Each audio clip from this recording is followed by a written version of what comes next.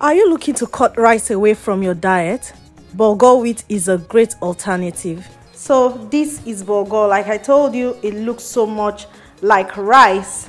This is the same grain that produces your semolina, your wheat flour, your pastas and um, couscous all of it it starts from the wheat grain so this is a wheat grain you can eat it in place of rice um, good for those who have diabetes those who are looking at cutting out rice from their diet. Um, it's rich in fiber so it helps your bowel movements bulgur is just good. All you need to do is to rinse it out. You don't need to do any parboiling. Just rinse one or two times and you are fine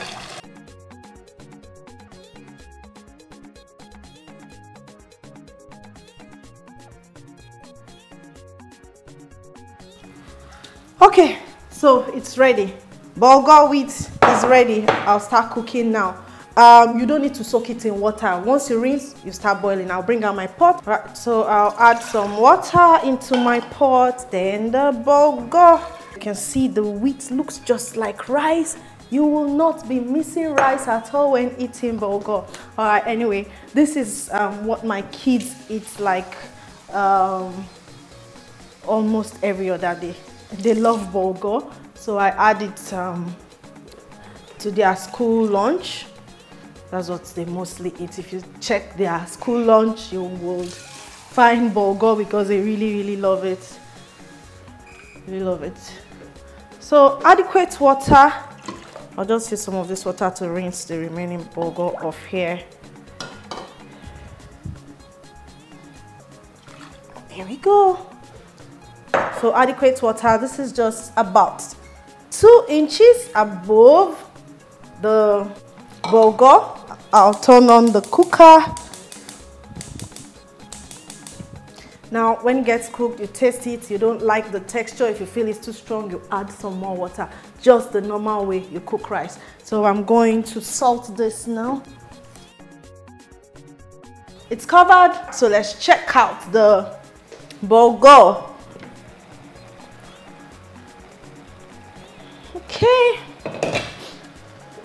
It's actually cooked. I'll just wait for that water to dry up.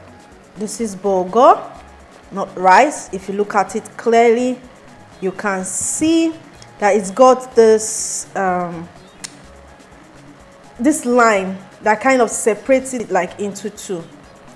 So that line is there. Rice doesn't have that um, line okay? So that's one physical difference between rice and bulgur in taste they actually do not um, they are not too different in taste. So this is done. This is done. So but i will just allow it cook completely and dry up.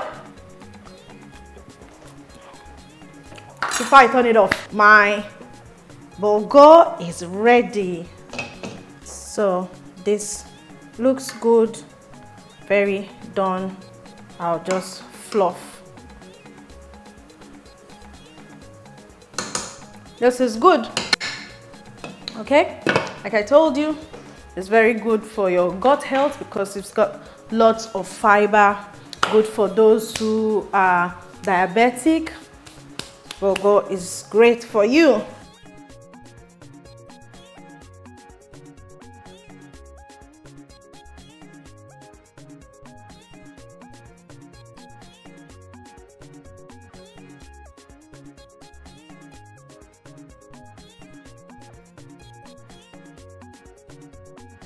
What do you think?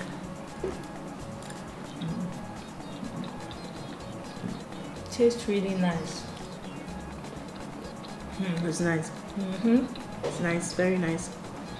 I love the assorted and stuff inside. Mm-hmm.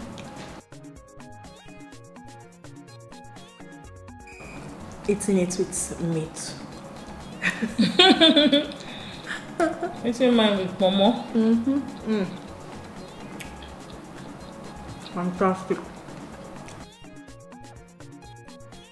fantastic. this is actually very good. very, very nice. It's like you're actually eating ofada sauce with ofada rice. Yes, you won't even know. That's how bulgur feels. The texture of bulgur is like ofada rice. Mm-hmm. Really. If you cook it well. Some people overcook their own, they start complaining that it's not nice. This is really, really nice, honestly. If you cook bulgur well, it tastes like ofada Look rice. rice.